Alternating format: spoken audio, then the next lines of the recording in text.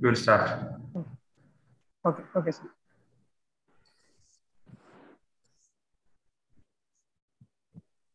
Good afternoon, all. Good afternoon, all. Distinguished guest of the day, Professor Prabhat Patnaik, the President of the meeting and Principal of the College, Dr. Varghese Matthew, the moderator of this academic session, Dr. Abraham George, respected former teachers of the department and the college, faculty members of the college and the department, faculty members from various colleges, all other distinguished guests, research scholars, and students. We wholeheartedly welcome you all to the special occasion of Silver Jubilee edition of Annual Lecture of the Department of Economics, Marthoma College, Tiruvalla. The annual lecture is a prestigious academic event of the department, which started in the year 1998 when the department got recognized as a research center of the Mahatma Gandhi University. For the last 24 years, the department was able to organize this event in a meaningful and fruitful manner. Over these years, the department arranged lectures by eminent scholars in economics, both from within the country and outside.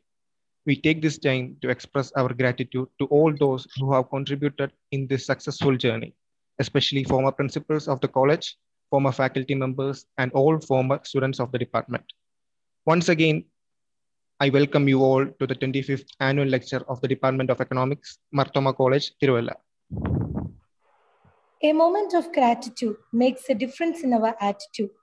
Let us be thankful to the Almighty for strengthening us to conduct the program all through these years and for keeping us all safe in these troubling times.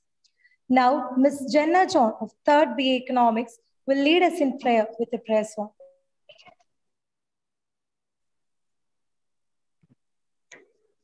അഖില ചരാചര രക്ഷകദേവ അകമഴിഞ്ഞങ്ങളെ പാലിക്ക ദേവ അഴലാകെനിക്ക് ആനന്ദമേകി സകല സൗഭാഗ്യങ്ങളെ കേണം നാദ സകല സൗഭാഗ്യങ്ങളെ കേണം നാഥ.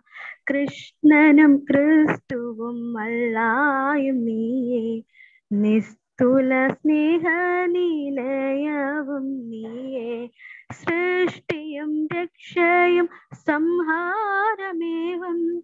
ഇഷ്ടസ്വരൂപാനിന്നിലാവിലാസം അഖില ചരാചര രക്ഷകദേവ അകമഴിഞ്ഞങ്ങളെ പാലിക്ക ദേവ അഴലാകെനിക്ക് ആനന്ദമേകി സകല സൗഭാഗ്യങ്ങളെ കേണം നാദ സകല സൗഭാഗ്യങ്ങളെ കേണം നാദ Thank you, Jenna. Now, I invite Mr. Anup Koshi George, Assistant Professor of the department, to deliver his welcome address. The respected guest for the day, Professor Dr. Prabhat Patnaik, the president of this meeting and the college principal, Dr. Varghese Matthew, moderator of this academic session, and the former principal of the college, Dr. Abraham George, faculty members of various colleges, former principals and former faculty members of the college, faculty members of the college and the department, research scholars of the department, and dear students. Good afternoon all. This is a proud occasion for the Department of Economics, Marthoma College, Tiruvalla. The department, which started its journey at the time of inception of the college in 1952, is achieving yet another milestone in its journey. It is definitely a privilege for the department to be able to conduct the Silver Jubilee edition of annual lecture when the college is in its 70th year. To celebrate the occasion of Silver Jubilee edition of the annual lecture, the department has organized a national level paper presentation competition for UG and PG students. Here, we are in an unprecedented times. Two years back, we were on the verge of the global shutdown. and the world economy has still not fully recovered from it. As the crisis is always seen as a time of new experiments, the governments, institutions, and individuals all over the world have been devising strategies to deal not only with the pandemic, but also strategize a paradigm shift in the economic policies. Three decades back, our country has initiated such a policy that paves the way for opening up the economy into a liberalized era. At this juncture of the completion of 30 years of its initiation, the pandemic has brought in an opportunity to strengthen these economic policies.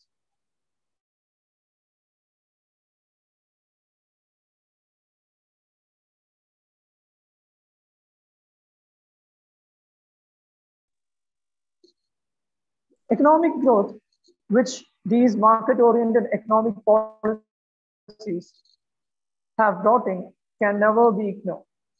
At the same time, it is important to look into the social and economic inequalities that have been arousing over these years.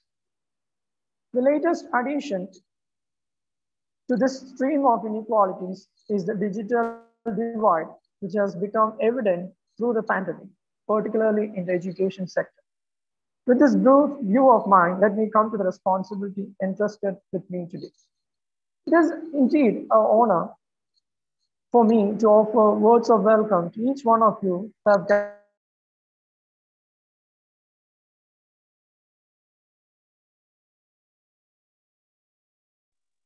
who have gathered here for the 25th annual lecture of the department.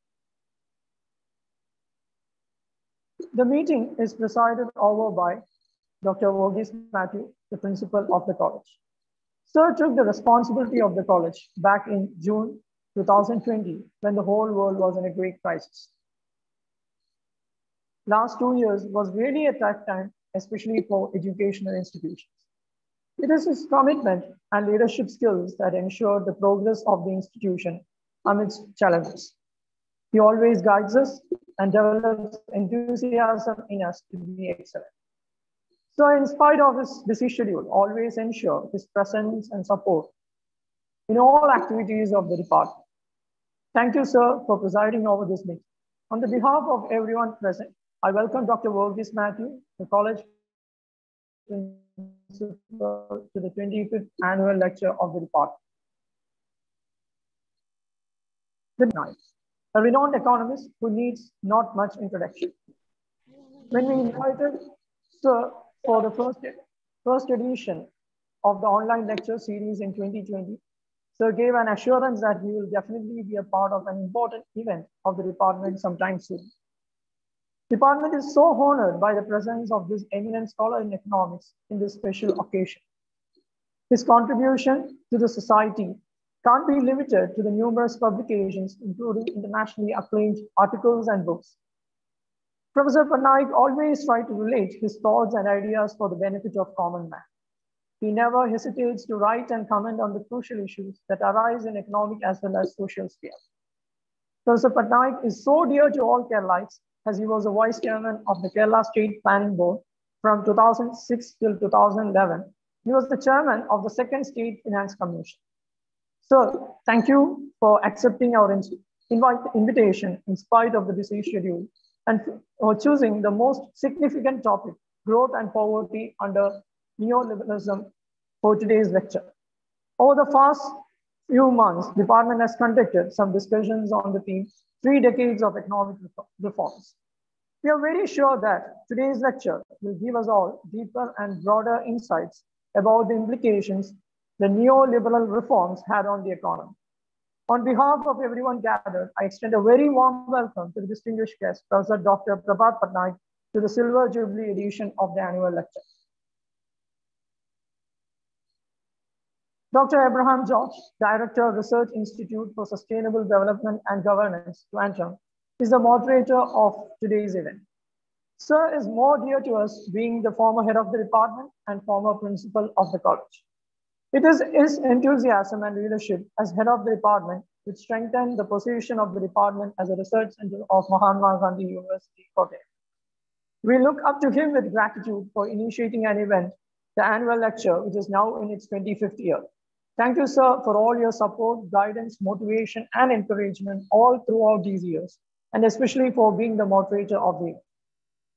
On behalf of everyone present here, I extend a very warm welcome to Dr. Evan Joseph. I take this time to express our sincere gratitude to all former faculty members and former heads of the department for all their contributions and initiatives.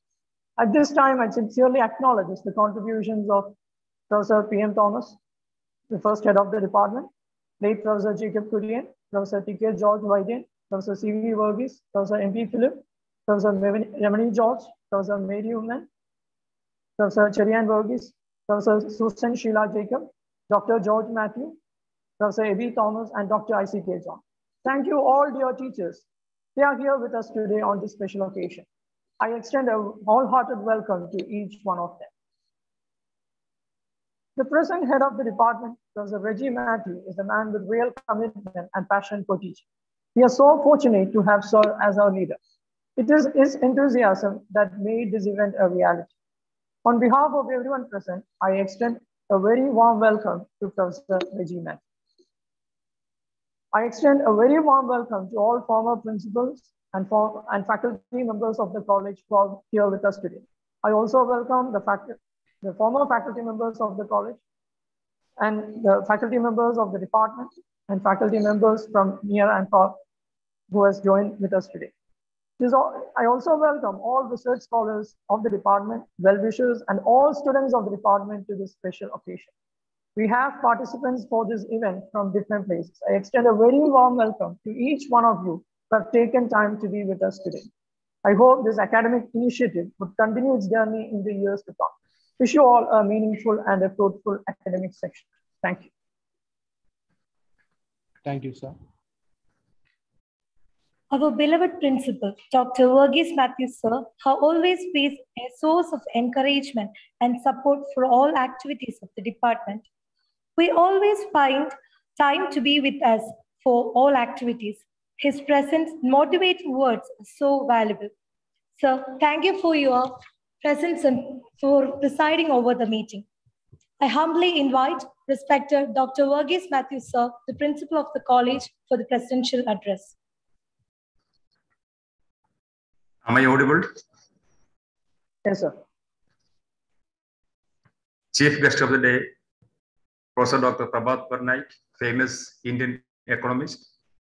Today's moderator, Dr. Abraham George, Director Research Institute for Sustainable Development and Governance, and former principal, Marthoma College Tiruvalla, Dr. I.C.K. John, former principal, Marthoma College Tiruvalla, Professor Reggie Matthew, HOD of Economics, conveners of today's lecture, Professor Anup Koshi George, Professor Arvind Shankar, Mr. George Thomas, Secretary, Economics Association, former faculty of the department, teachers of the department, research colleagues, and my dear students.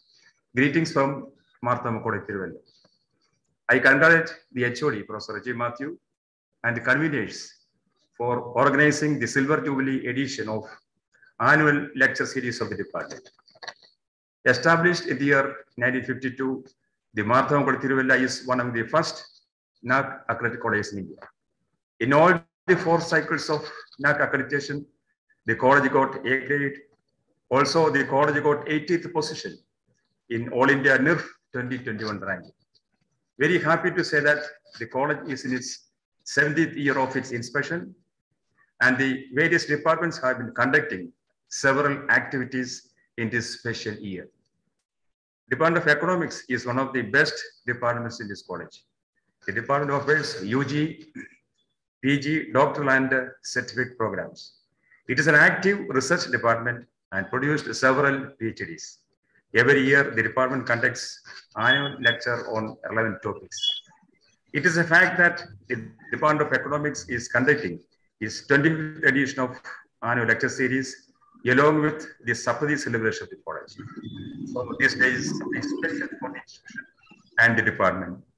For the past 24 years, several economists and experts in related fields have delivered annual lectures of the department. The first lecture was delivered by Dr. Samuel Paul, senior economist, World Bank. Later, he was awarded with the Padma Shri in the year 2004. The annual lectures have inspired several teachers, research scholars, and students. Also, department level discussions were carried out based on the delivered topics. To deliver the 25th annual lecture, we have with us today, today's guest of honor, Professor Dr. Prabhat Patnaik, famous Indian economist. In this auspicious day, we have blessed with one of the most simple and influential economists in India.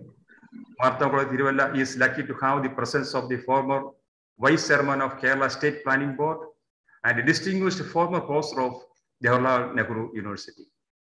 A specialist in macroeconomics and political economy, Sir's presence is an added advantage to the department and the college. We are very happy that Prabhat Patnaik sir is with us to deliver the 25th annual lecture on the topic Growth and Poverty under Neo-Liberalism. On behalf of Martha College fraternity, I sincerely welcome you, sir, to Martha College Tiruvalla. Also, I am very happy that former principal of the college, Dr. Abraham sir, is with us. He is the moderator of this annual lecture. I welcome you, sir, to the college. We have been witnessing the impact of COVID-19 pandemic during the last two years. The restrictions of the pandemic have drastically affected the economy of all countries, and it affect and it affected all sectors of the world. In this context, the title of the lecture is very apt and relevant. The COVID-19 pandemic has exposed the toxic effects of neoliberalism. Neoliberalism is an economic ideology of capitalism, has depleted our public services, turned our education and health care into profit-driven businesses, hoarded profits at the expense of undervalued and underpaid workers. It has been generating poverty divisions between people and countries. COVID-19 pandemic revealed that only public institutions or government-funded agencies can support the people in their needs, especially during pandemic and wild situations. Let the discussions and deliberations in this lecture may give some new, some, some new sights. What measures can be taken to eradicate poverty and ensure growth among all sectors of society. Let me say one thing to students. For a change, one must need good education and aim. Education makes a door to bright, to bright future. A brighter future starts with an education. Education is self-empowerment. To get good education, one must listen to lectures and classes of eminent personalities. So listen to this lecture with utmost care and be a part of the history of the department. Let this annual lecture, his, his deliberations, may help all you to sharpen your knowledge and skills. Let me conclude. I wish all success for this annual lecture. Thank you very much.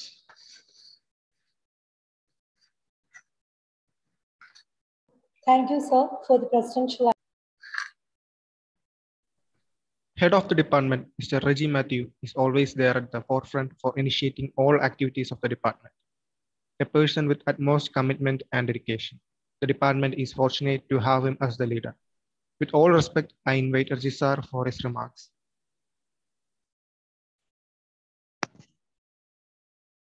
Most respected chief guest of the day, Professor Prabhat Patnaik sir, president of this meeting and uh, the principal of the college, Dr. Varghese Matthew sir, moderator of this academic session, Dr.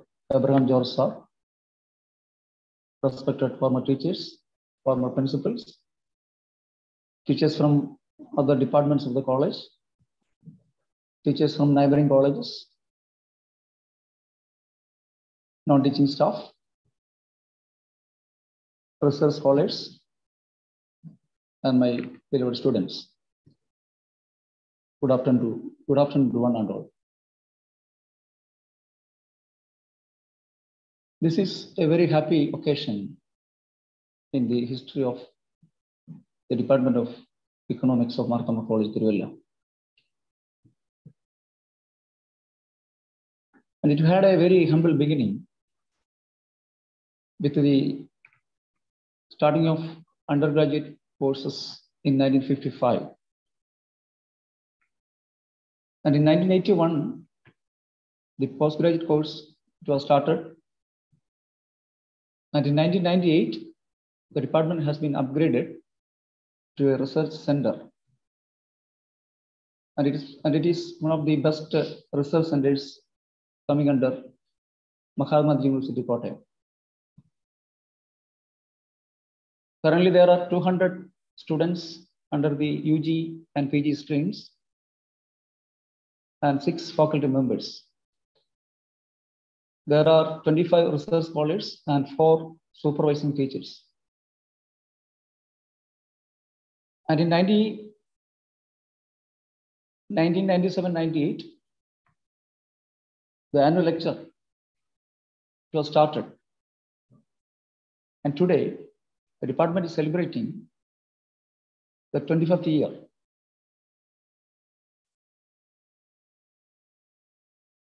In 1997, Dr. Samuel Paul, who was the senior economist of World Bank, delivered the first lecture. And today, on this Jubilee year, the annual lecture is going to be delivered by an eminent economist of the country, Professor Prabhat Patnaik sir. So it is really an honor on this special occasion to have Professor Prabhat Patnaik sir as our chief guest on behalf of the entire Department of Economics of Marthoma College, Tiruvalla. Once again, a very warm welcome to Professor Prabhat Patnaik sir.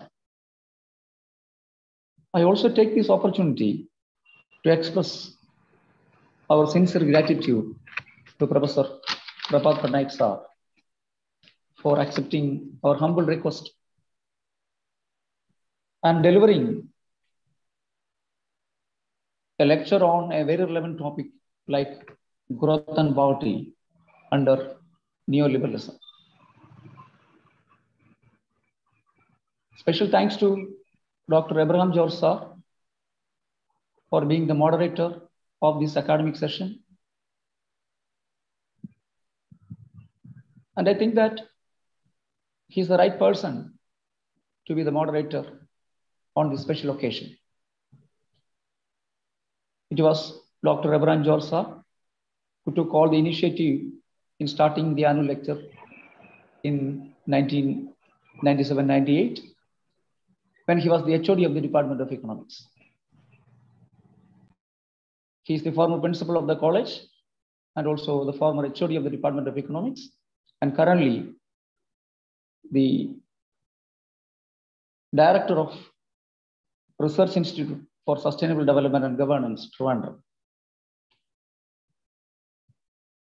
I also remember with the respect and gratitude all my beloved former teachers of the department. Professor P.M. Thomas sir, Professor George Vaidyan sir, Professor C.V. Varghese sir, late Professor Jacob Kurian sir, Professor M.D. Phillips sir, Dr. Abraham George sir, Professor Remini, Remini George teacher, Professor Mary Human teacher, Professor Cherian Varghese sir, Professor Susan Sheila Jacob teacher, Dr. George Matthew sir, Professor Ebi Thomas sir, and uh, Dr. Isaac Ajan sir. We acknowledge your precious contributions to the Department of Economics. And I welcome you all to this academic session. Thanks to beloved principal of the college, Dr. Varghese Matthew sir. He's always a great support to the Department of Economics.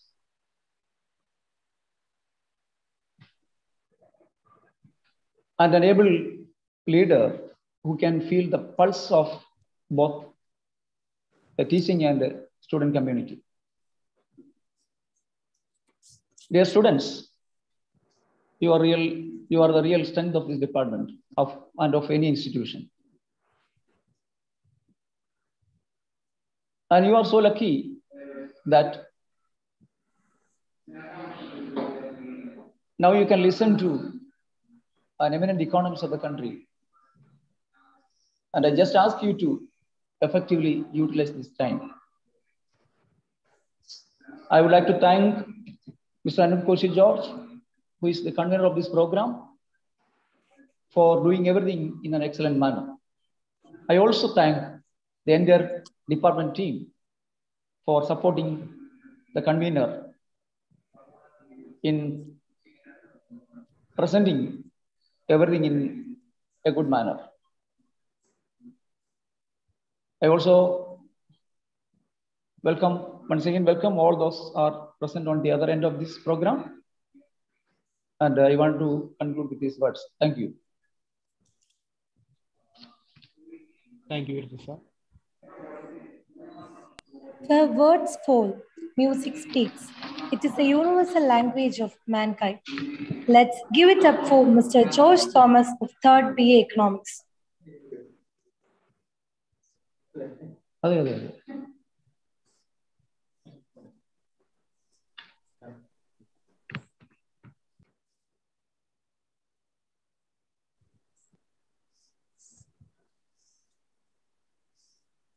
Música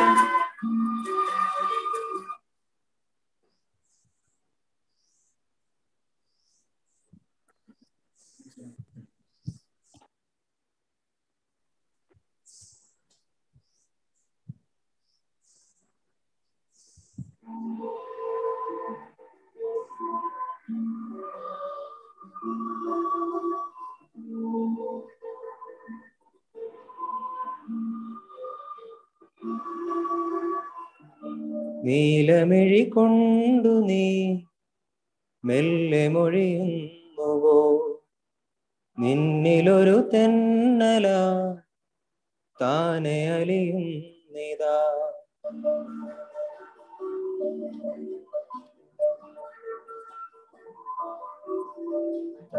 നീലമിഴി നീ മെല്ലെ മൊഴിയുന്നുവോ നിന്നിലൊരു തെന്നല താനെ അലിയുന്നിതാ അനുരാഗതീരമെന്നു നീ അണഞ്ഞുവോ? പ്രിയമോടെ താരകങ്ങളെന്തു ചൊല്ലിയോ? മിഴി തരാതെ മൊഴി തരാതെ ആരൊരാൾ വന്നുവോ മിഴി തരാതെ മൊഴി തരാതെ ആരൊരാൾ വന്നുവോ? നീലമിഴി കൊണ്ടു നീ മെല്ലെ മൊഴിയുന്നുവോ? നിന്നിലൊരു തെന്നല താനെ അലിയുന്നിതാ.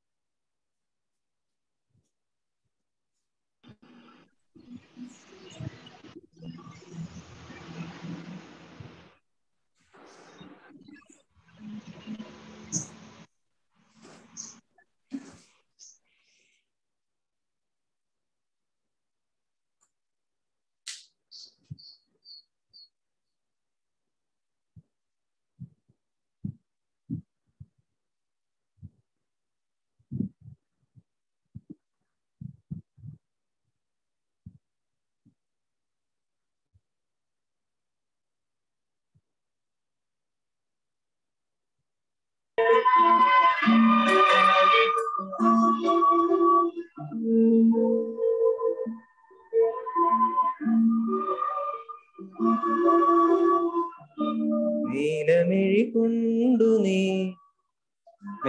മൊഴിയുന്നു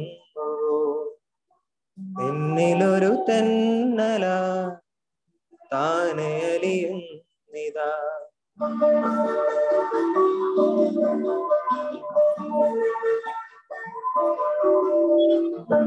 നീലമിഴി കൊണ്ടു നീ. മെല്ലെ മൊഴിയുന്നുവോ നിന്നിലൊരു തെന്നല താനെ അലിയുന്നിതാ അനുരാഗ തീരമെന്നു നീ അണഞ്ഞുവോ? യമോടെ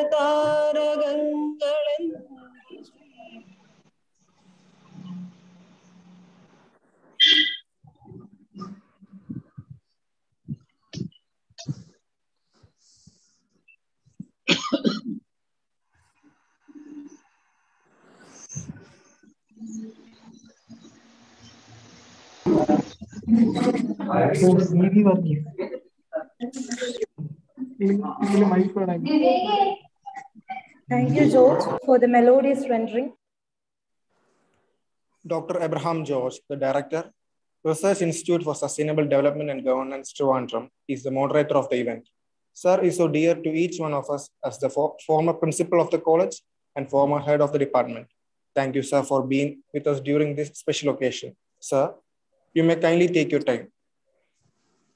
Thank you. Respected Principal Dr. Verghese Matthew, distinguished guest of the day, Professor Prabhat Patnaik, Head of the Department, Professor Reggie Matthew, former and present faculty members, students, and dear friends. I am extremely delighted to attend the 25th annual lecture program of Department of Economics. I would like to thank you all, particularly Professor Reggie Matthew, head of the department, and the convener, Professor Anup George, for inviting me to this program. Let me congratulate the department for successfully organizing this year's program despite the constraints due to the COVID pandemic. It is indeed commendable that you could arrange the annual lecture for 25 years without a break. This was achieved through the collective efforts of the faculty and students of our department. I gratefully remember the active cooperation and support of my former colleagues in this endeavor. During the past 25 years, the department could invite several nationally and internationally renowned experts. The lecture program was started mainly with the objective of enabling our students to listen to and interact with eminent scholars, as such opportunities were quite rare in those days. Today, it is a privilege for me to join you all when one of the most distinguished economists of our country, Professor Prabhat Patnaik, is delivering this year's lecture. Although I have had the opportunity to hear him speak during several conferences I have attended, I still cherish the classes he took when I attended a refresher course program at JNU's Academic Staff College in early 90s. Let me express my personal respects and appreciation to Professor Patnaik, an outstanding economist and a great teacher. The organizers of this program today have chosen a very relevant topic for the annual lecture, growth and poverty under neoliberalism. As a moderator, I will just introduce that topic very briefly.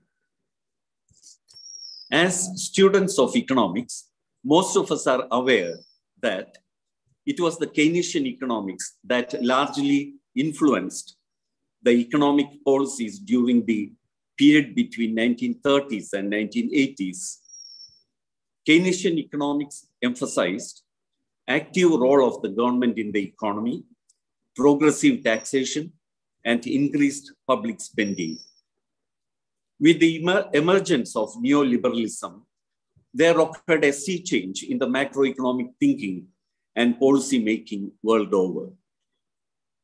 As opposed to Keynesian economics, neoliberal policies stand for reduced role of the government in the economy, lower taxes for the rich, and free play of market forces. The economic policies followed by Prime Minister Margaret Thatcher in the United Kingdom and President Ronald Reagan in the U- USA during the 1980s promoted neoliberal po- policies in a big way at the global level. The disintegration of Soviet Union, the success stories of the Asian tigers, and the role of the international financing agencies such as the IMF and the World Bank in aggressively prescribing neoliberal policies to debt-ridden developing countries further strengthened the spread of neoliberalism worldwide. Neoliberal policies primarily aim at faster growth of the national output or GDP, which in turn is expected to trickle down to the poor and the downtrodden. However, after following neoliberal policies during the last three decades, although rapid increase of in GDP has occurred in several countries, it has also led to growing economic inequality in both developing countries and developed countries. And this has aggravated poverty and unemployment in a large number of countries. So, in this context, it would be quite appropriate to discuss the various issues related to the growth under neoliberalism. As markets have failed to deliver under the neoliberal scheme of things, what should be the role of the government in making growth more inclusive and sustainable? What are the policy options before us to improve distributive justice in order to ensure that fruits of economic growth are enjoyed by majority of our citizens? Now, let us listen to Professor Prabhat Patnaik, who is the best person to explain to us all such issues related to today's topic, growth and poverty under neoliberalism. Thank you very much. Now we move on to hear from one of the eminent scholars in economics, Professor Dr. Prabhat Patnaik. No words could express his unlimited contribution to the field of economics and to society at large. So it is a great honor and privilege for us to have you for the 25th annual lecture. I humbly invite Professor Prabhat Patnaik to deliver the lecture on the topic Growth and Poverty under Neoliberalism. Thank you very much. Dr. Verghese Matthew, Dr. Abraham George, Dr. A.G. Matthew, Dr. Anup George other members of the audience. First of all, let me express my deep sense of gratitude that you have invited me to give this lecture, the 25th in the series of lectures which the college has been instituting for the last several years. Uh, the topic which I chose is because there is a misconception. Misconception is that even though neoliberalism has increased the rate of growth of the gross domestic product in the economy, and even though it is true that it has been accompanied by an increase in income inequality, income and wealth inequality, an increase in economic inequality, nonetheless, it has lifted large numbers of people from poverty. And that it is the pandemic which has once more pushed back millions into poverty who had been lifted out of poverty because of neoliberalism, because of the neoliberal regime that ushered in a period of rapid GDP growth. In other words, the entire argument that talks about increase in poverty in the recent period concentrates on the pandemic as the cause of this increase in poverty. Now, I believe that's a misconception, and I shall devote my lecture to establishing that point that long before the pandemic, in fact, an accompaniment of neoliberalism was alongside an increase in GDP growth, an increase in absolute poverty as well.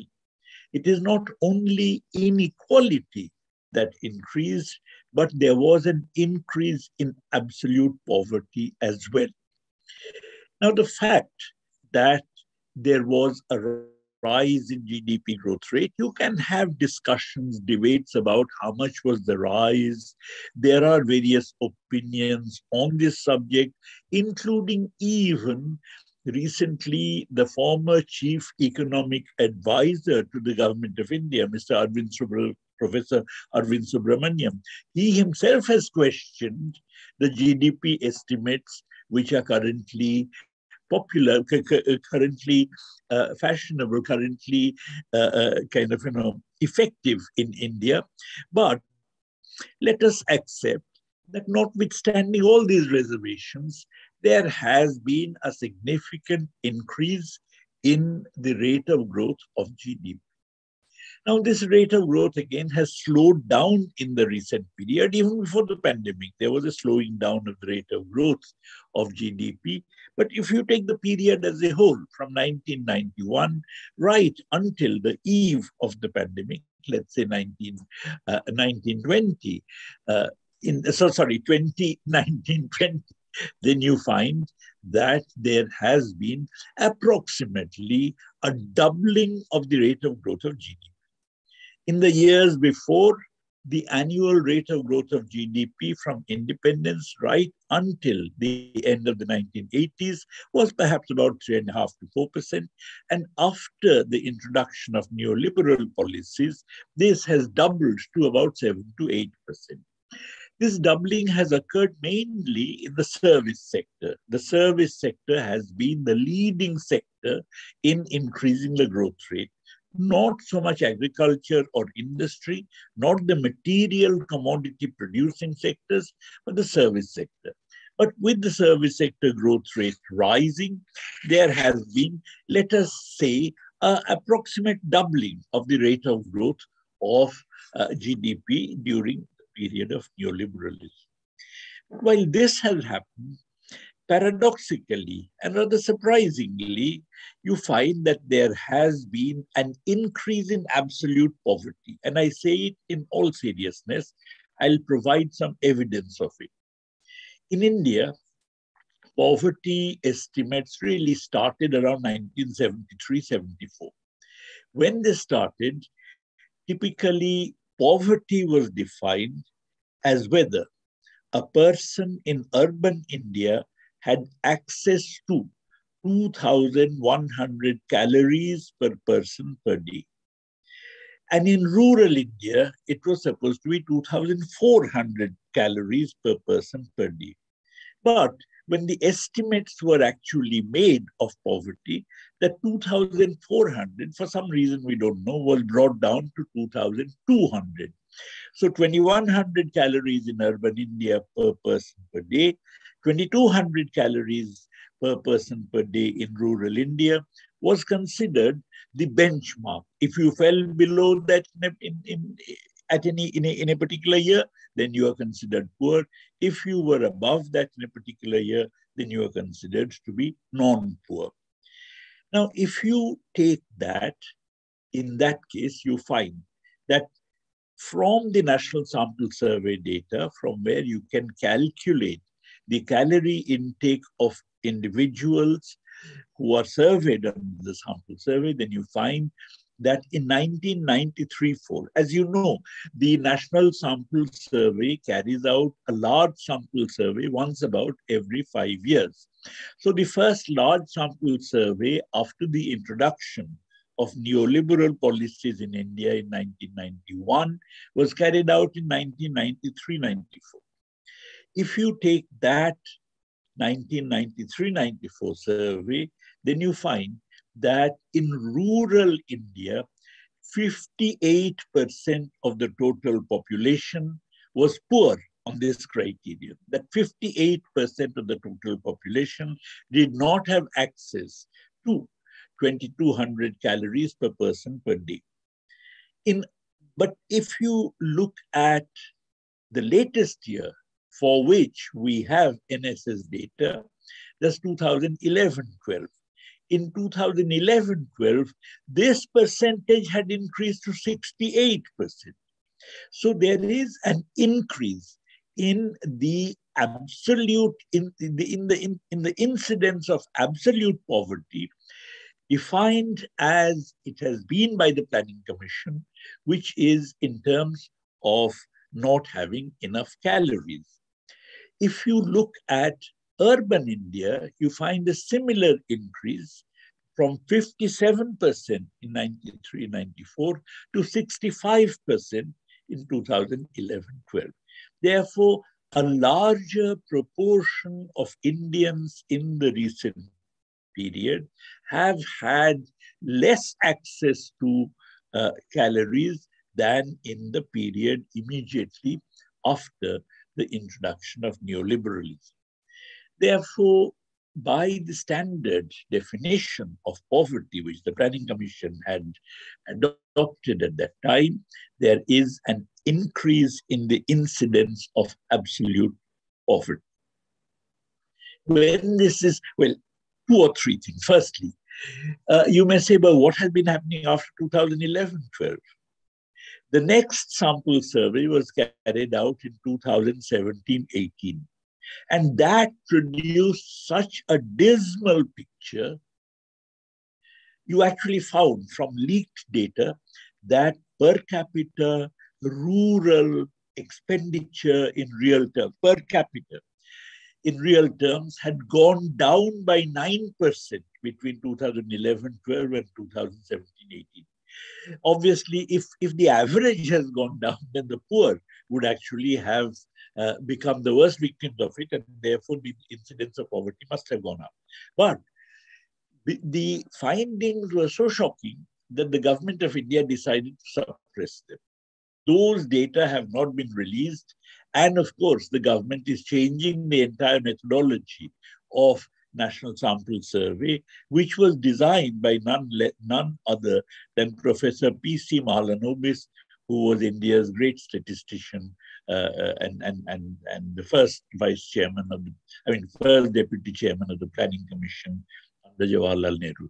So the point is that, that after 2011, things have certainly not been better. If anything, they have actually continued to deteriorate, perhaps at a very rapid pace. The second question is when some people then say that, look, okay, but the fact that calorie intake has gone down is something that need not worry us because maybe people are diversifying. Maybe people are now more keen on sending their children to school, therefore incur a larger proportion of expenditure on education, more keen on having access to modern healthcare, therefore spend more on, on, on, on medical expenses, on hospitalization and so on. And to offset this increase, they may be cutting down on their food consumption.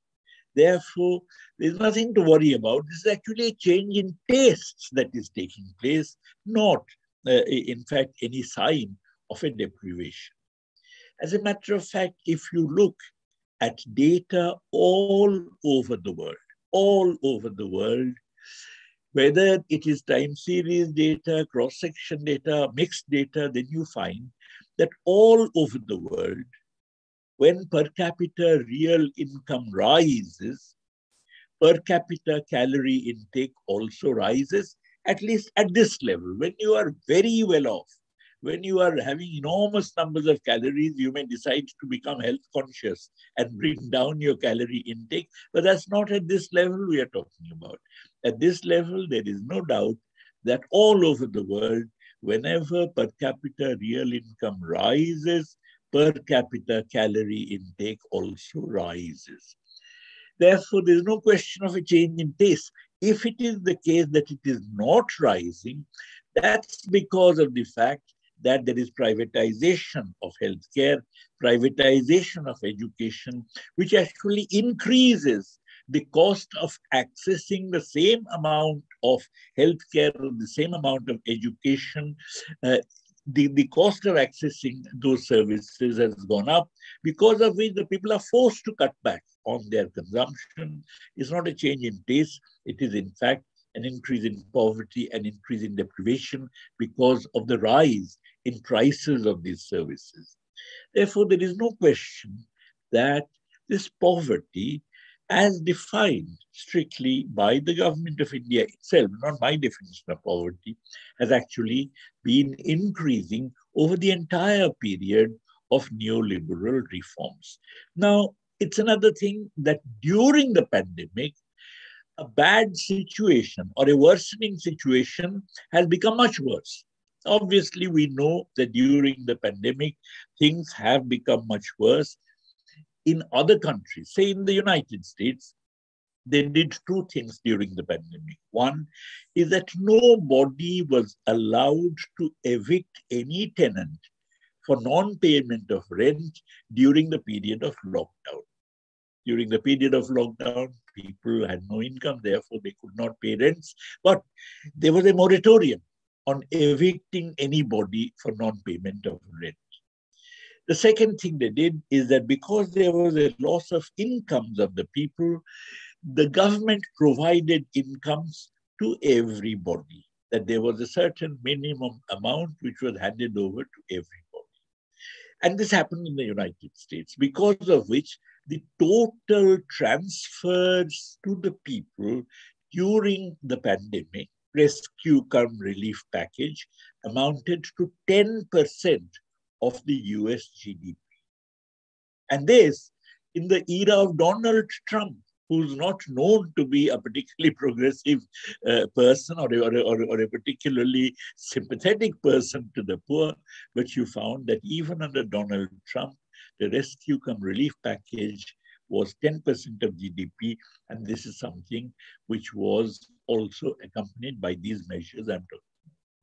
What happened in India is that there was no such moratorium on evictions, because of which we have seen hundreds of thousands of people were thrown out of the places of residence where they had occupied for a very long time and were marching on the roads in order to get back to their villages, walking hundreds of kilometers because they had nowhere, they had nowhere else to go. The second thing is that even when many of them lost their livelihoods, lost their incomes, lost their occupations.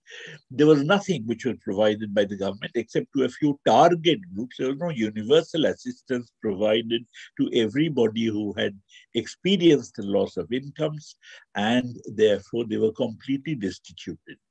Because of which, the total relief package in India during the pandemic came to only about 1% of GDP.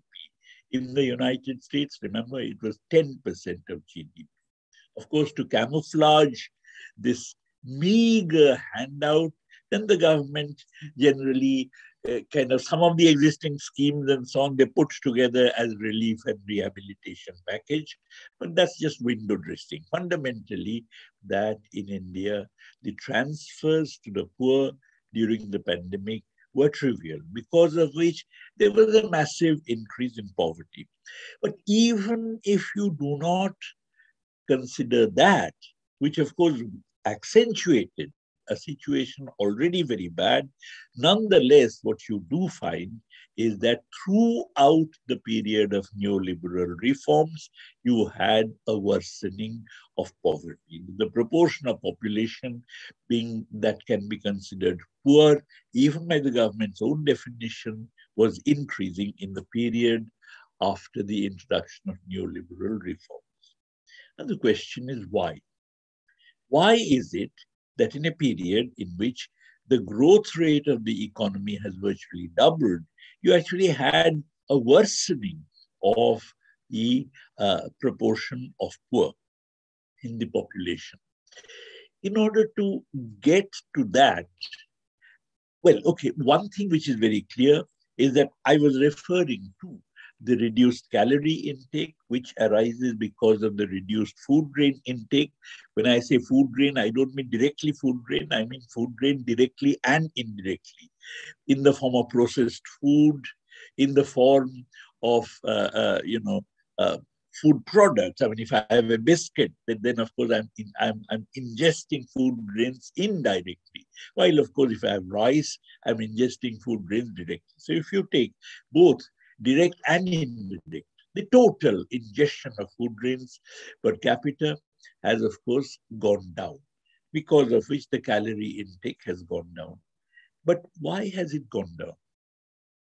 Let me just give you some historic figure, historical figures at the beginning of the 20th century, around 1900, the per capita annual food grain intake in what was then called British India, that is British ruled India, was about 200 kilograms per year, per person per year.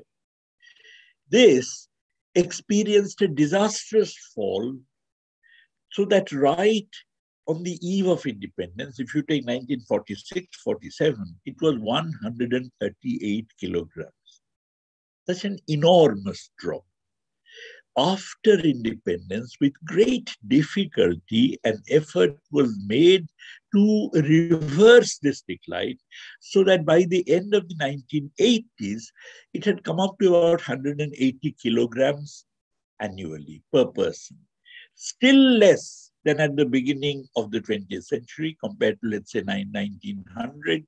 By 1980 end, it was still less, 200 to 180. But on the other hand, it had actually, the decline had been reversed. If you take the neoliberal period, then even by the very recent 2016-17 data show that it continues to remain maybe marginally less around roughly, let us say, 180 kilograms per person per year. In other words, during the entire neoliberal period, there has been no increase in per capita food grain absorption in India. Now, while per capita food grain absorption, which is defined simply as production, net production plus net imports minus net addition to stocks, while this has more or less remained stable, a lot of the food grains now are really utilized for producing other kinds of things, for, for, for, for, for, for producing, for instance, biofuels biofuel production has gone up everywhere. So food grain is diverted towards biofuel production and food grain, of course, is diverted towards processed food production, which is consumed by the rich. But at the same time, you find that really enormous additions to food grain stocks are with the government. 90 million tons of food grain stocks are lying around with the government while the stocks that are required by the government are about 25 million tons.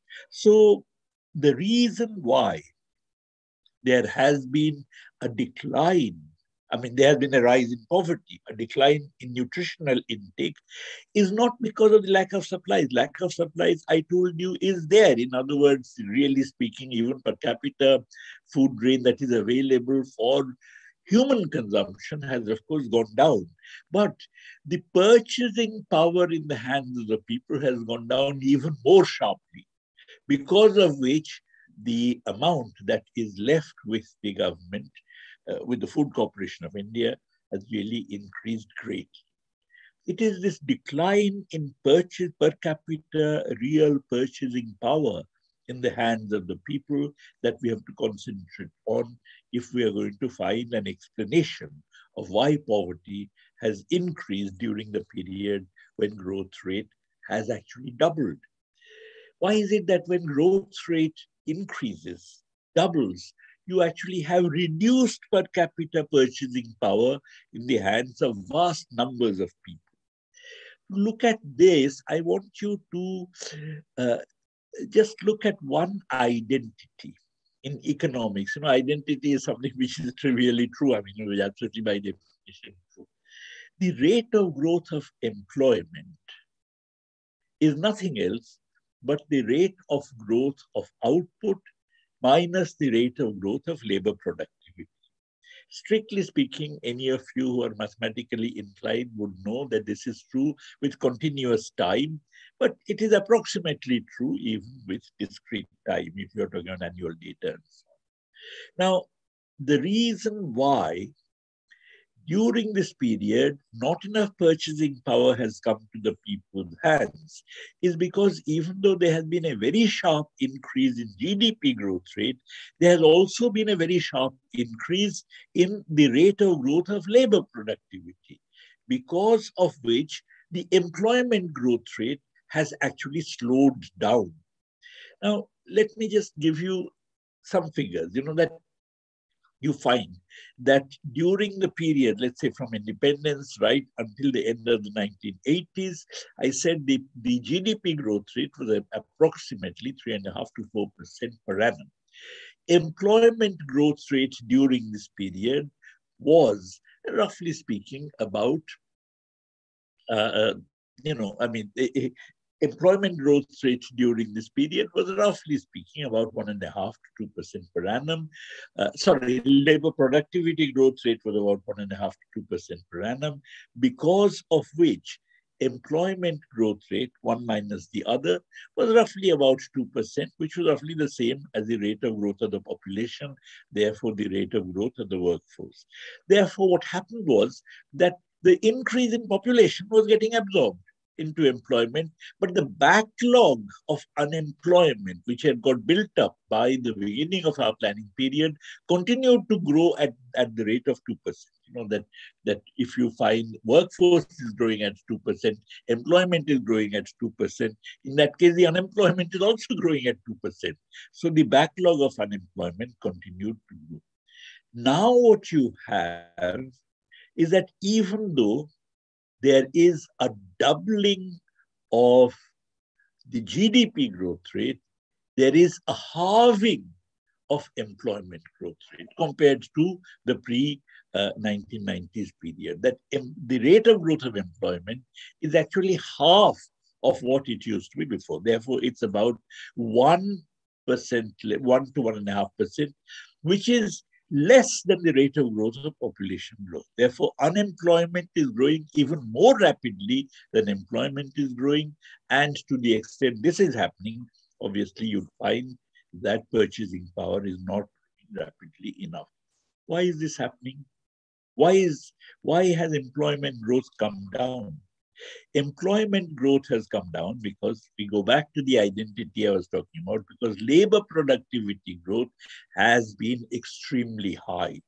That neoliberalism, while it has brought about a rapid rate of growth of GDP, much faster than before, has also brought about a rapid rate of growth of labor productivity.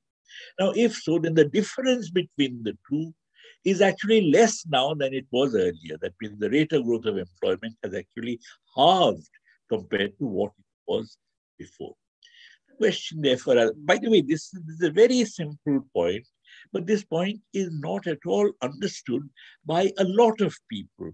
As a matter of fact, you often find that, that you know, our political leaders say, oh, yes, we must increase the rate of growth of labor productivity. That in order to be able to compete, in order to be able to be a successful economic power, we must increase the rate of growth of labor productivity. What they don't realize is that such an increase in the rate of labor productivity simultaneously diminishes for any given GDP growth rate the rate of growth of employment actually makes people poor that a rate of growth of labor productivity far from making the country powerful, actually makes the bulk of the people poorer because it really curtails the ability of the government, of, of the economy to generate jobs.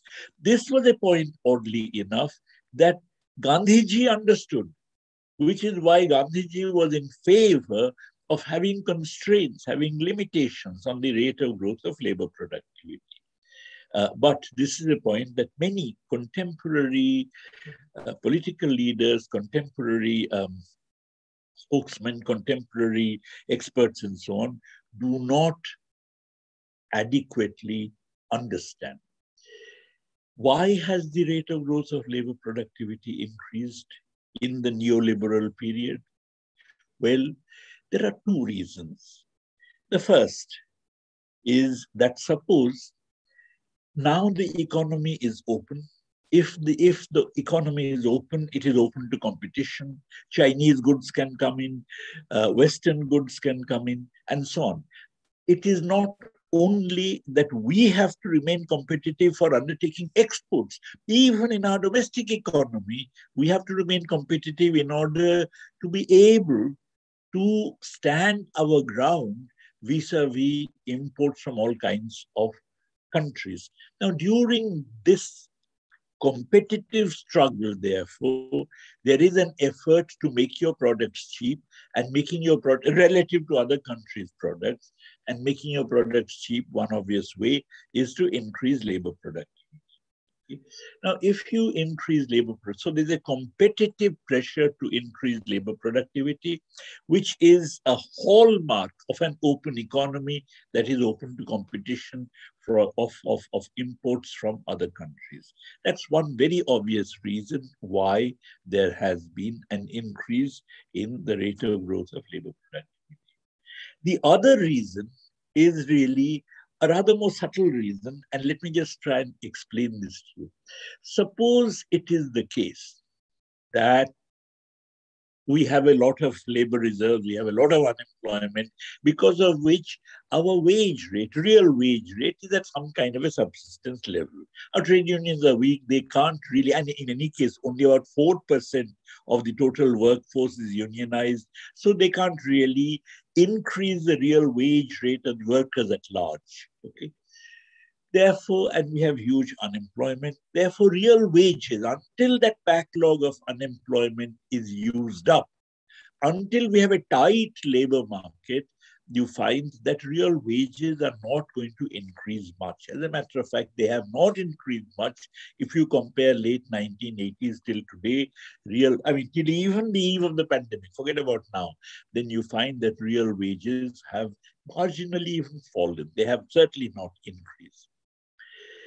Okay, now, therefore, in order for real wages to increase, it is necessary that the labor reserves get used up. It is necessary that there has to be some tightening of the labor market. Now, this tightening, suppose it is the case that there is no such tightening. Okay, suppose it is the case that labor reserves continue. Even if they're getting used up, they take a long time to, to get used up. And suppose during that period, real wages remain at the subsistence level. Then you find, however, labor productivity is rising. If labor productivity rises while real wages remain at a subsistence level, then of course it means that the economic surplus as a proportion of, of, of GDP rises economic surplus rises. It, economic surplus includes many things. It includes property incomes, profits, rents, um, uh, landlords' incomes, and so on and so forth. It also includes the incomes of a large number of people, let us say corporate lawyers, advertisement agencies and so on, all of whom are, let's say, employed by corporate capital in various capacities. So if you take the totality of that income, that is what comes out of the economic surplus, something which is produced by the workers or by the working people, but really does not accrue to them. Now, if you look at these people, they naturally are influenced by consumption patterns which prevail internationally, consumption patterns which prevail in rich countries. And therefore, if more income goes to them, their consumption shifts in favor of all kinds of goods which prevail internationally, which prevail in the advanced countries. And these goods typically are not at all employment intensive. Let me give you an example. When I used to work in Kerala, uh, there are lots of people, you know, we had just started this uh, Mahatma Gandhi, MGNREGS, Mahatma Gandhi National Rural Employment Guarantee Scheme. When we started the MGNREGS scheme, we used to go from village to village to find out how exactly the scheme is working. So I would often ask people who were really doing the labor manual work on the scheme, uh, have you got your wage? They would say yes. So I would ask, what have you spent it on? So many of them would say, you know, we have spent it on buying that those that stone grinder with which the dosa mix is made. Now, that stone grinder is something which is available in the village or available in, in next village and so on. So the multiplier effect the demand generating effect of the MGNREGS was really felt on through commodities like the stone grinder, which really generated a lot of employment. By contrast, Suppose you take that rupee from such a person and give it to somebody who's employed in New Delhi.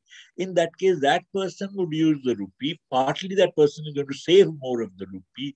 And secondly, to the extent the person spends, would spend, let us say, in taking a trip abroad. Maybe some brother is, is in the United States, might go to visit him and so on. Therefore, you'd find that the employment generic, domestic employment generating effect of that rupee, which is taken from the rural laborer in Kerala and handed to a well-off person in Delhi would be negative. That actually it'll employ less employment, it'll generate less employment. Now, therefore, a shift from the wage income to surplus income has exactly the same effect it actually tends to generate less employment and therefore it tends to actually give rise to larger labor productivity. After all when we see for instance that you know i mean in the, in in the village you don't have malls. In the village what you have is the local shop. But on the other hand you come to the city you have these malls and a mall employs many much fewer people than uh, uh, a, a, a village company. Therefore, hello, what is happening? Hello. Yes, Yeah. sir. Uh, yeah, okay. The, the, therefore, you find that the labor productivity rises because of the change in income distribution. As income distribution becomes unequal, of which the rise in the share of surplus is a very obvious index, then you find that the labor productivity rises because the goods that the rich demand are much less employment intensive than the goods that the poor people demand, because of which there is such a shift in income distribution gives rise to a shift in demand, which gives rise to a shift in the kind of goods which, which are made available, and therefore you find that there is a reduction in employment that takes place. Therefore, these two reasons. Firstly, that there is, because of competitive pressure, there is a pressure to introduce greater labor productivity and therefore reduction in employment. And secondly, as, as, as, as a means of cheapening commodities. And secondly, because of the shift in the pattern of demand, shift in the pattern of consumption, there is uh, again a kind of you know employment reducing effect. If you put these two, then it's not very surprising that the, that the shift from the earlier period when the growth rate of GDP was low to the more recent period when the growth rate of GDP is high, the shift has been accompanied by a fall in the rate of growth of, of, of employment. And this fall in the rate of growth of employment actually is now giving rise to an increase in the labor reserves as a proportion of the total workforce. In other words, a larger proportion of the total workforce is now unemployed than was the case earlier. But of course, in India, you don't have workers who are either fully employed or fully unemployed. That is what you find in the West, that, you know, some people have jobs, other people have no jobs. What you typically have here is really employment rationing. That suppose you find that, let us say, 10 people are looking for jobs uh, which can employ only five, then it is not that only five people are employed and five remain unemployed, but the 10 are really employed for half the time. And this is the effect of casualization. When you find casualization is taking place, that basically means that some days I manage to get a job, on other days I don't. Every morning I go looking for jobs. I sometimes get a job, sometimes don't get a job. Therefore, there is employment rationing. Therefore, this unemployment really, this growing unemployment in the proportion of the workforce really manifests itself in terms of a reduction in real income per capita.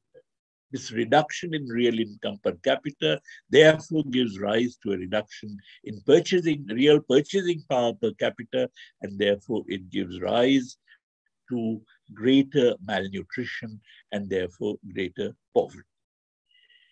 Now, in the light of this, what can one say then? You know, I mean, okay, if if this is and this is going to be, you know, as as economic, as long as unemployment persists, as long as you have labor reserves not getting used up. In fact, as I said, labor reserves are increasing over a period of time relative to the workforce. So wages are not going to rise. The incomes of the poor are not going to increase. Rather, the incomes of the poor are going to decline.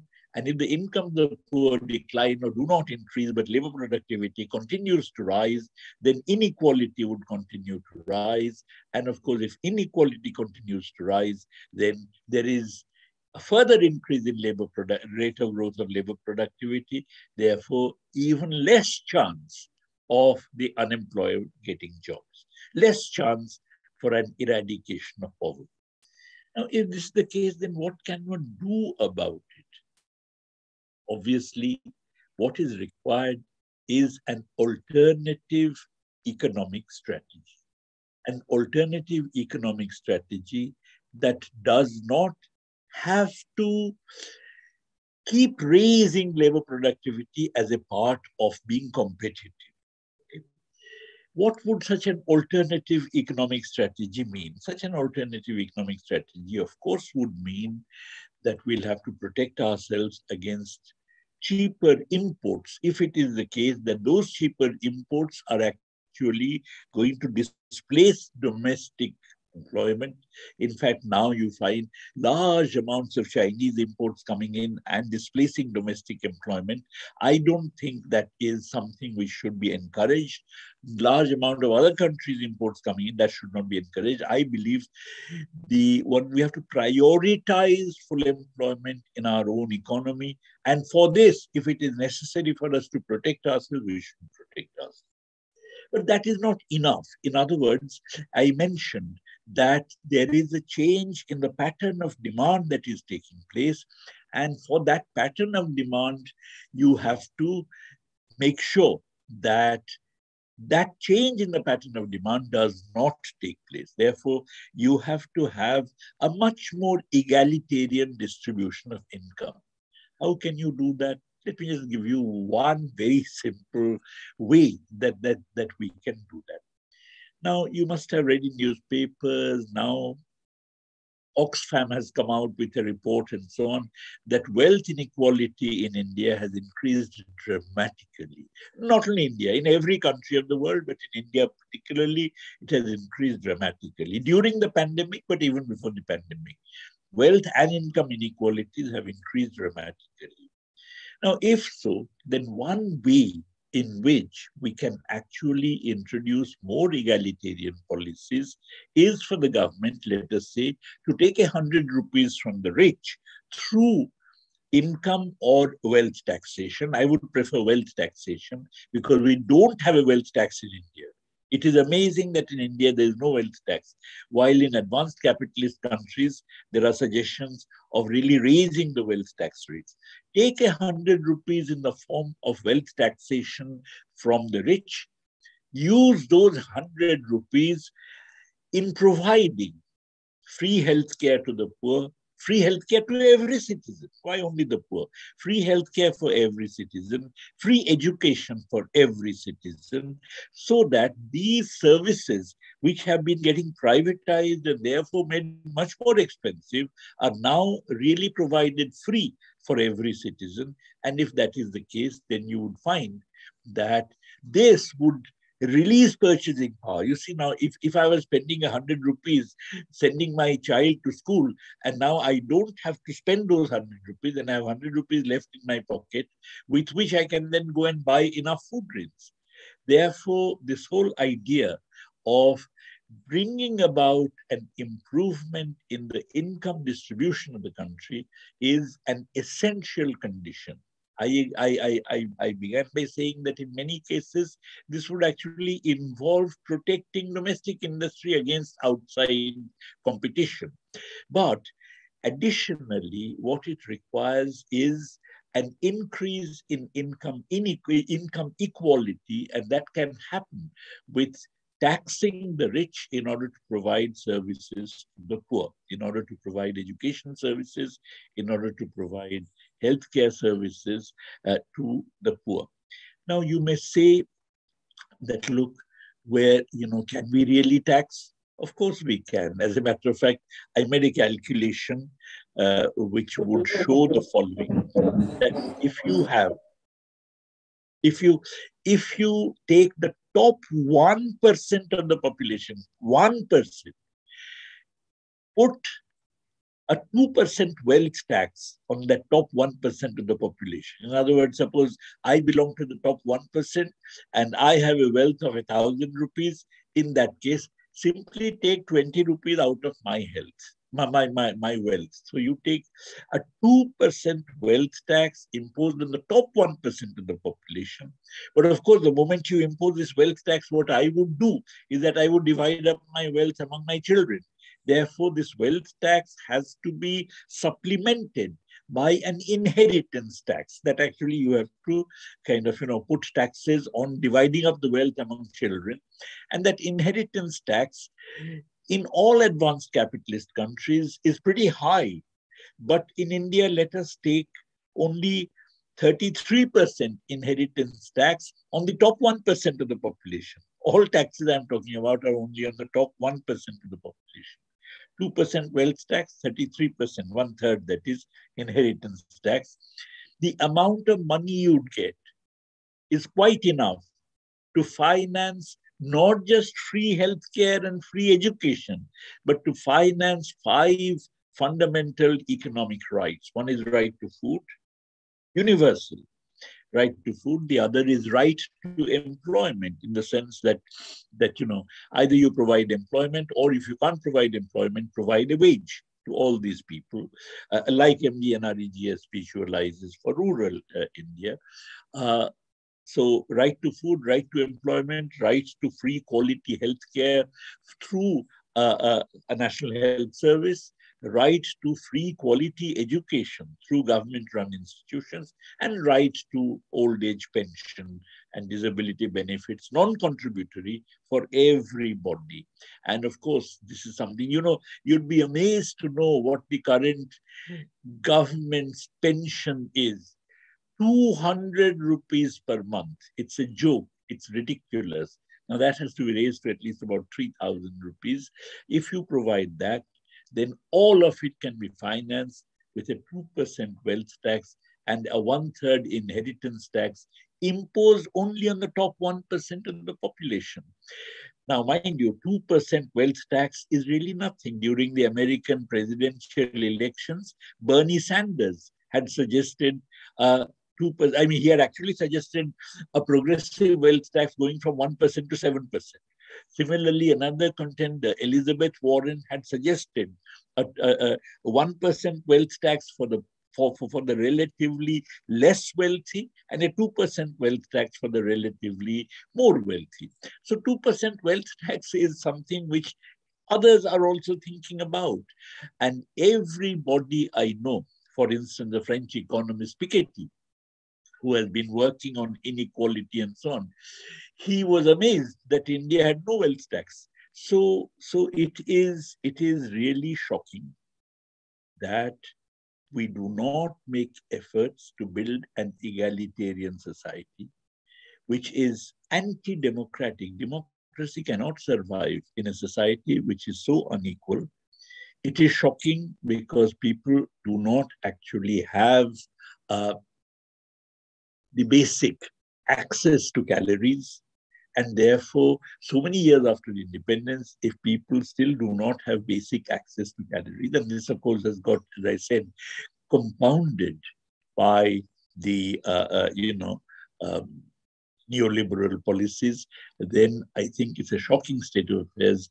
And the more we raise our voice against this shocking state of affairs as economists, the more significant would be our social role.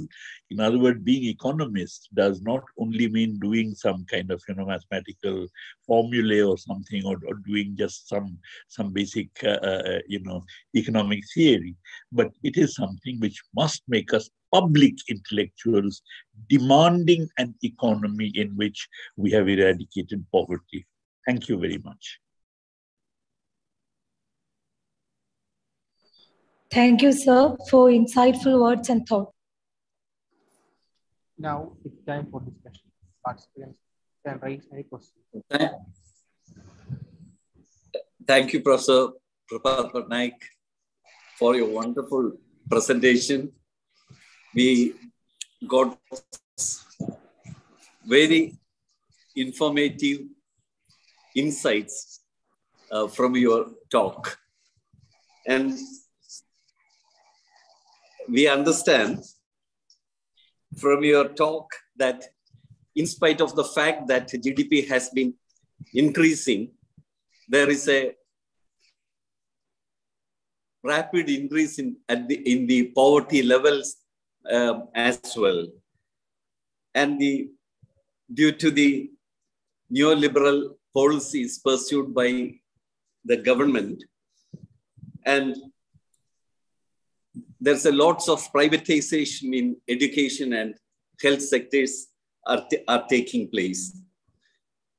And increase in the poverty and unemployment has worsened due to the impact of the pandemic because there's there, there's a large scale loss of livelihoods, jobs, and um, sources of income for uh, our people. And it, is very interesting to know that even after 100 years, our per capita food grain intake um, has, has not uh, risen to the old level. And that is, uh, that is a very interesting piece of uh, information. Um, similarly, um, you also said that uh, in their pursuit to remain uh, competitive, producers are um, getting, uh, making um, or increasing labor productivity. And that is also leading to uh, unemployment. Uh, I found that information also very, very, very uh, interesting. And um, we need to have, as you suggested, um, that we need to have an alternative economic uh, strategy um, and uh, uh, you you were uh, talking against the imports of cheap products from countries like China. And how far should we go in, in that direction? Because we, we, we, we should be following more protective policies um, in the uh, external front and uh, how far this is possible uh, under our commitments with the uh, WTO. Uh, I hope when you explain the, towards the end of the discussion, you will touch upon that area also. And um, as a uh, leading economist of the country, I, am sure that uh, your uh, suggestion for progressive taxation and uh, uh, wealth uh, taxes and in- inheritance tax at the same time, um, uh, that will go a long way in reducing the growing um, increase, uh, growing inequality in the income and wealth in, in our country. Thank you, sir. It, it was a very interesting session and it, it, it was a pleasure to listen to your wonderful talk uh, after, after some time. And, and now um, the floor is open for discussion. Um, and as we have very limited time, ask your questions or make your comments uh, briefly. Um, Professor Anup George will uh, manage the uh, discussion uh, session. So uh, I hope all of you will participate actively in the discussion. Thank you. Uh, thank you all for patient listening. Uh, it's time for discussion. So please put up your queries, questions. Uh, we can have a discussion. So can I make a question? A Couple of questions. Yes. So this is Aravind. Yeah. Yes, sir. Good afternoon, sir. Uh, sir, I listened to your talk and uh, I got a several uh, valuable information from your talk. Uh, I have two questions. One is regarding the labor productivity. Uh, so you told that uh, the increasing labor productivity is one of the important reasons for the declining uh, employment.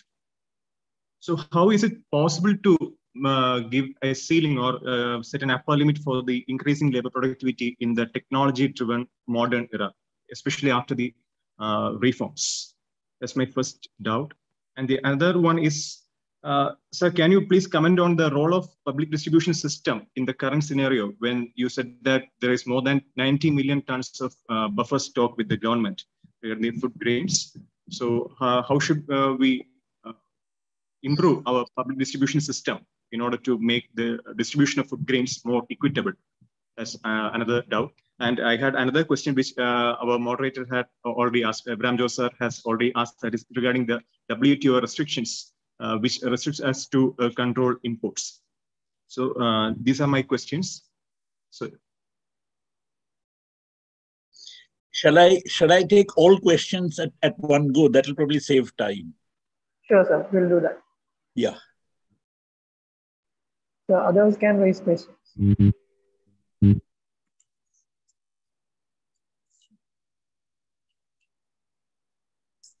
Uh, sir, I am Vivek from 30C Economics from Marthoma College. Sir, I have one question. So Yes, is, is measurement of poverty based on the amount of calorie intake appropriate? Like if inequality causes stress and anxiety, then the inequality may induce anxiety triggering increased food consumption. Uh, that's based on the assumption hypothesis that uh, stress is associated with increased pursuit uh, of, of food and consumption. Uh, or when food scarcity is perceived or anticipated, it increases food intake. So is it is it appropriate to measure poverty on the basis of calorie intake? Okay.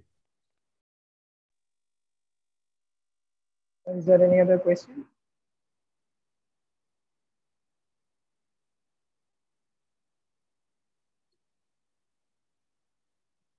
So I think you can answer it now.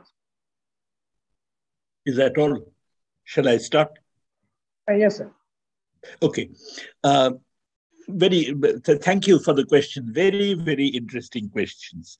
Uh, first, of course, um, uh, Professor Abraham George's question. Uh, you know, I am not for protection as such. I'm not saying that a country should protect itself. No, not, not at all. I'm for full employment. For full employment, we need a package of policies. One such package, one element of this package I have talked about is more equal distribution of income and wealth. The other is that even if you have more equal distribution of income and wealth, and then at the end of it, you also find that there is uh, that, the, that the effect of this, okay, the effect of this equal distribution of income and wealth would be that there would be a change in the consumption pattern, that there would be demand for more labor intensive goods compared to what is happening now. But suppose this demand for more labor intensive goods that has been brought about is leaking out to China or to or to or to some other country or or or, or, or is leaking out even to the advanced countries. Suppose that happens. In that case, it would be necessary for us to introduce protection. Now, this introduction of protection, therefore, is not something I'm prioritizing. It is something which, to the extent it is necessary, we should have. Now, I should just say one thing that in a lot of our commodities, really speaking, our rates of our tariff rates are lower than what is permitted by the WTO. When we had quantitative restrictions, and the quantitative restrictions went at the beginning of this century, then the, I, the WTO allows what are called tariff bounds that okay, you have removed the quantitative restriction on imports, but you're allowed to impose tariffs up to let's say 80% or whatever. Now that 80% is called a tariff bound. Now, in most cases, the tariffs we have are below the tariff bounds. Therefore, it would not even necessarily have to meet the incur the wrath of the WTO. So, so, so we don't even have to worry about that. But I do find it's very strange that, you know, in the old days when I was a kid, you know, all these on Diwali, on Diwali, you had earthen lamps produced in the village itself, which were available to everybody. But now you have Diwali lights coming from China. Therefore, what has happened to those poor fellows who are doing earthen lamps? So I think it, it becomes important either for we could retrain them. We could, in fact, teach them how to make earthen lamps, but fundamentally, they must not be allowed to become unemployed. You know, Gandhiji had said it. Gandhiji had said that why should I buy the latest fashionable products from Savile Row in London if in the process of my doing so, I find that my brother, the weaver in the next village, is going to become unemployed. I think that is a consideration we must all have in mind. I, therefore, I prioritize full employment, not protection as such, protection to the extent necessary for achieving full employment. Okay, then the next question two things, uh, two questions. One was labor productivity. Uh, why should we, uh, you know, I mean, how can we prevent labor productivity uh, from rising if it is the case that we actually, uh, you know, I mean, modern age, and so on. Fine, I, I, I agree. I'm not for a moment saying that we should have primitive methods across the across the spectrum but I'm saying let's not modernize across the spectrum. Now, for instance, I'm not saying that instead of the latest surgery, instead of, let us say, laser guided surgery, we should in fact go back to what was pre prevalent 100 years, 200 years ago.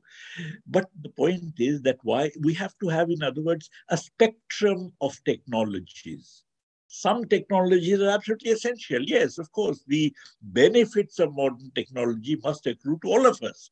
But on the other hand, not everything is necessarily uh, uh, technologically required mall, for instance, I mean, after all, we all have been, uh, we all have been agitating against malls on the ground that when you have a mall, in that case, that displaces so many people okay, who, who, who had little, uh, tiny little shops. Now, I don't see the necessity. In some cases, it may not displace. Okay, by all means, let's have a mall then.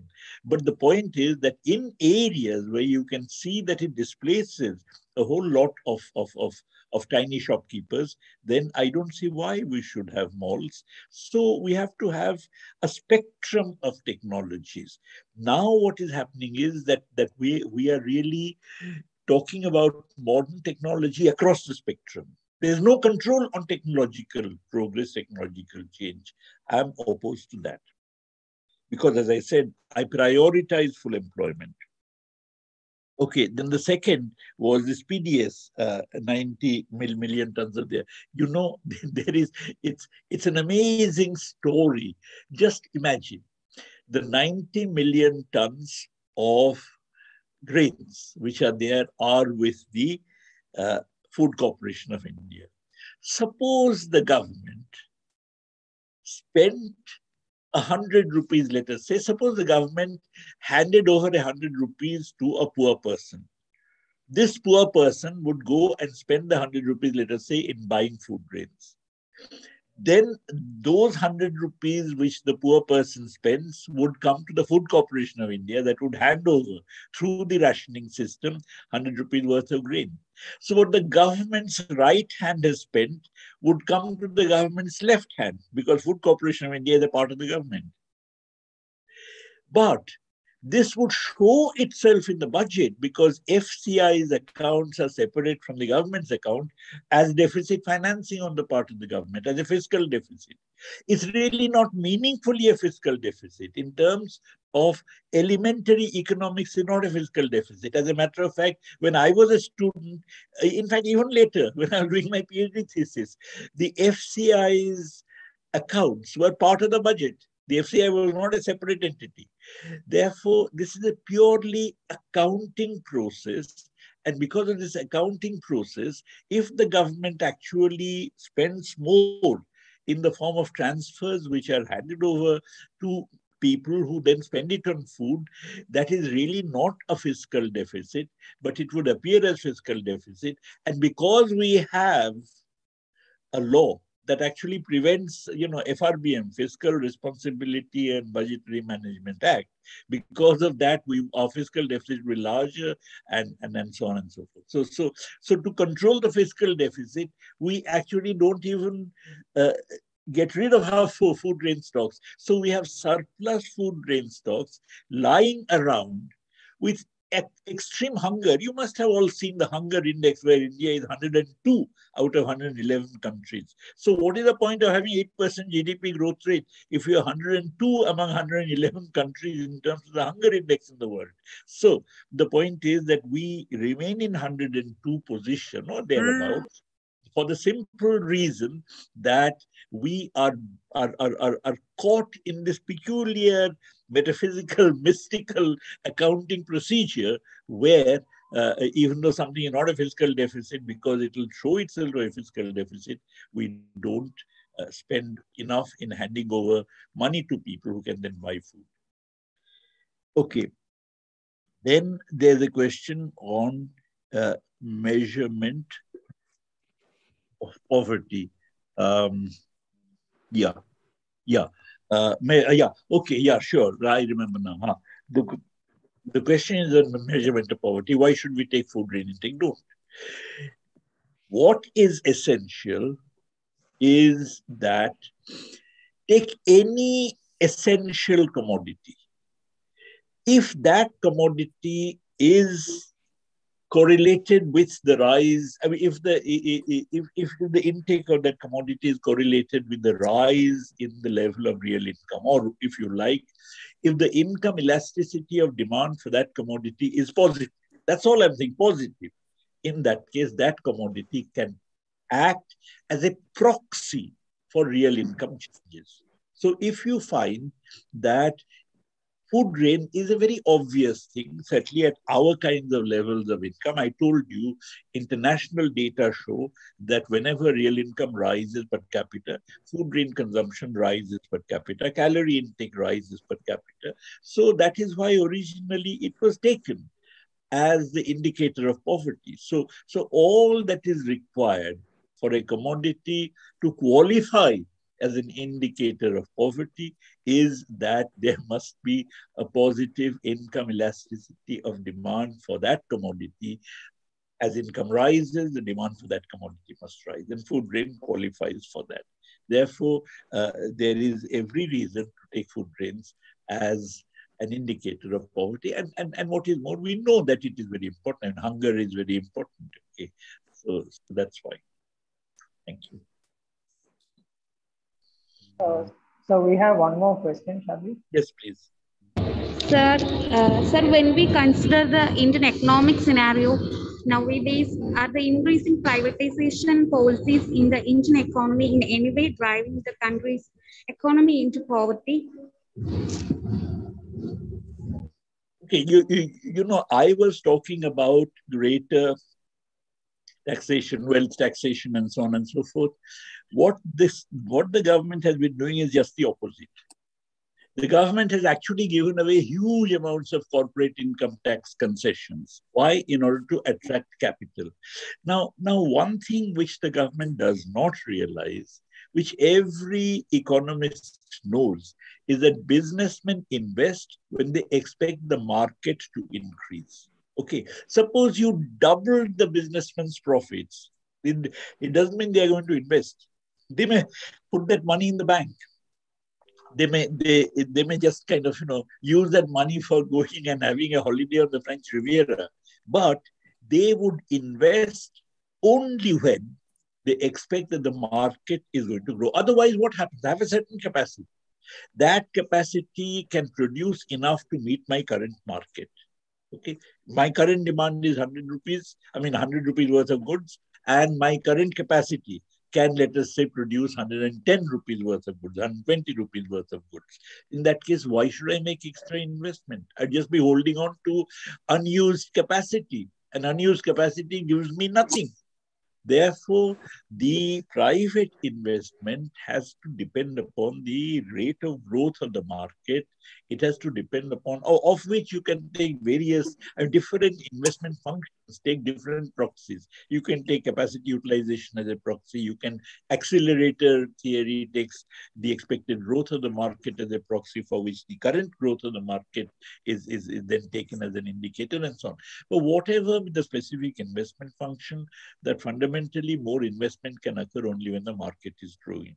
But if the market is not growing, handing over more money simply does not help in boosting investment. Now, our governments have till now been under, I mean, neoliberal policy has been under the illusion that if you give more money to the businessmen, then they make more investment. That is not the case, which is why our inequalities have been growing and we do not use the tax mechanism in order to uh, rectify it. So one last question. Yes.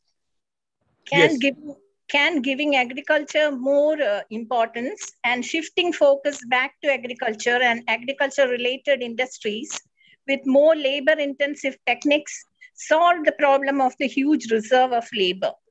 Yes, of course it will. In fact, what I'm suggesting is precisely, you know, the next step would be that. Suppose it is the case that you reduce income inequalities. If you reduce income inequalities, then food grain, as, as I said, one of the things that would happen is that the demand for food grains would rise.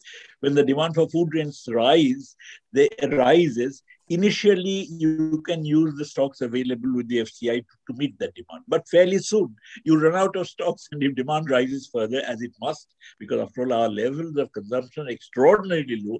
Bangladesh has much higher level of per capita consumption of food grains than India has. Eh, by the way, every South Asian country, Pakistan, Bangladesh, Nepal, they all have higher levels of per capita food grain consumption than we have. So the, the, the, when the stocks kind of get used up, then you need to produce more. So if you pursue a more egalitarian, more pro-people policy, then accordingly, you would also have to have a different pattern of output being generated, agriculture would necessarily have to be given greater importance in such a scenario. Thank you. Thank you, sir, and thank you all for raising the questions. Over to Abraham George, sir. Thank you, sir. And it was a wonderful experience for each one of us to listen to your wonderful presentation. We are grateful to you uh, for your excellent lecture and also for providing answers to our doubts uh, in the most lucid manner. So uh, we are very much uh, grateful to you. Uh, and uh, as the moderator, I would like to thank Professor Prabhat Patnaik and all those people who participated in the discussion. Thank you. Thank you very much. Thank you. Before we wind up the session, let's hear from George Thomas a melodious song.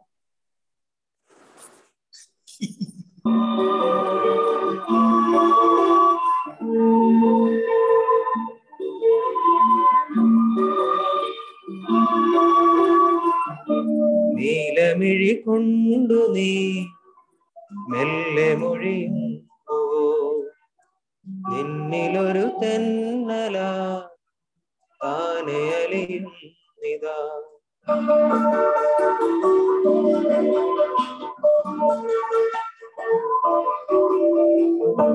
നീലമിഴി കൊണ്ടു നീ മെല്ലെ മൊഴിയുന്നു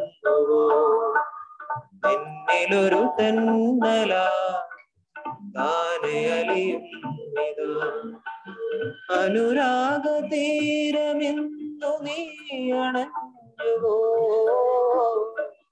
പ്രിയമോടെ താരകങ്ങളെന്തു ചൊല്ലിയോ? പിഴി തരാതെ മൊഴി തരാതെ ആരൊരാൾ വന്നു പിഴി തരാതെ മൊഴി തരാതെ ആരൊരാൾ വന്നു നീലമിഴി നീ മെല്ലെ മൊഴിയുന്നു എന്നിലൊരു തെന്നല നാനെ അലയുന്നിതാ.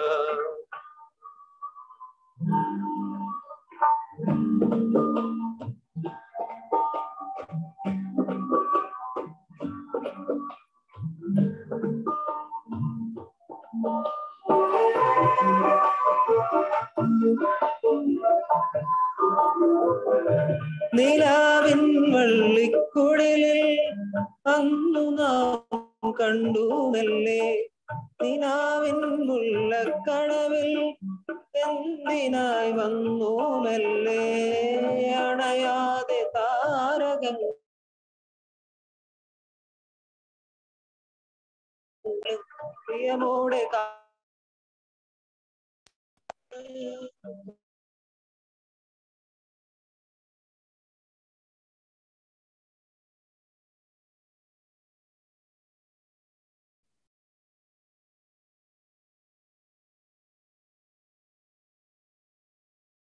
നെഞ്ചിലേതോ പാട്ടുമോളും ഈണമായി മാറി നീലമിഴി കൊണ്ടു നീ മെല്ലെ മൊഴിയുമ്പോ നിന്നിലൊരു തെന്നല താനേലിയും അനുരാഗ തീരമിന്നു നീ അടഞ്ഞുവോ? പ്രിയമോടെ താരകങ്ങളെന്നു ചൊല്ലിയോ മിഴി തരാതെ മൊഴി തരാതെ ആരൊരാൾ വന്നു മിഴി തരാതെ മൊഴി തരാതെ ആരൊരാൾ വന്നു